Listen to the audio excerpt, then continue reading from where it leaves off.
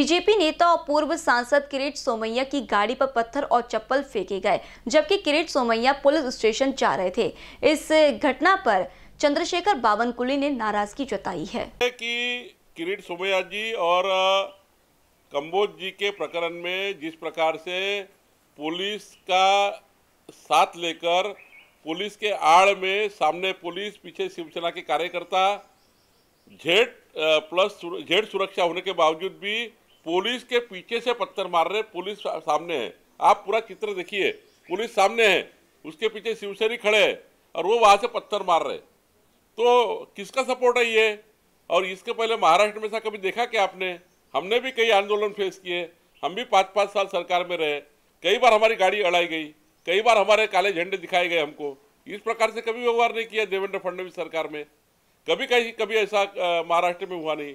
ये रोक सकते हैं ये चीज़ों को रोक सकते हैं।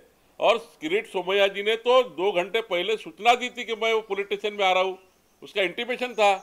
और सब कुछ चीज़ें तय थी कि वो जाने वाले हैं। पुलिस वहाँ पे अपनी व्यवस्था करेगी। तो भी सब सौ डेढ़ सौ कार्यकर्ता पुलिस स्टेशन के सामने कैसे खड़े रहते हैं?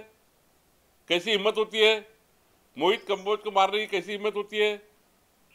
राणा के केस में राणा जी ने जो भी बोला है कि हम हनुमान चालीसा। हाँ ठीक है। हनुमान चालीसा बोलना है तो आओ, बैठो। हमारे घर के सामने व्यवस्था करते हैं। उसमें क्या गुंडागर्दी करने की ज़रूरत है? मेरे घर में कोई शिवसैनिक आता और बोलता है, आज भी, अभी भी। तो कल उसको मेरे घर के सामने हनुमान चालीसा पढ़े। शिवसेना के लिए मैं खाने खाने की व्यवस्था करता हूँ, पिंडाल की व्यवस्था करता हूँ, लड्डू की व्यवस्था करता हूँ। चाहिए तो ताल मृदंग देता हूँ खुर्चियाँ डालता हूँ। अच्छे से व्यवस्था करूँगा मेरे घर के सामने। क्या फ़र्क पड़ता है? अगर कोई शिवसेना कार्यकर्ता, राष्ट्रवादी कार्यकर्ता कहता है कि बावन को ले घर के सामने हनुमान चालीसा करना है, करिए आके।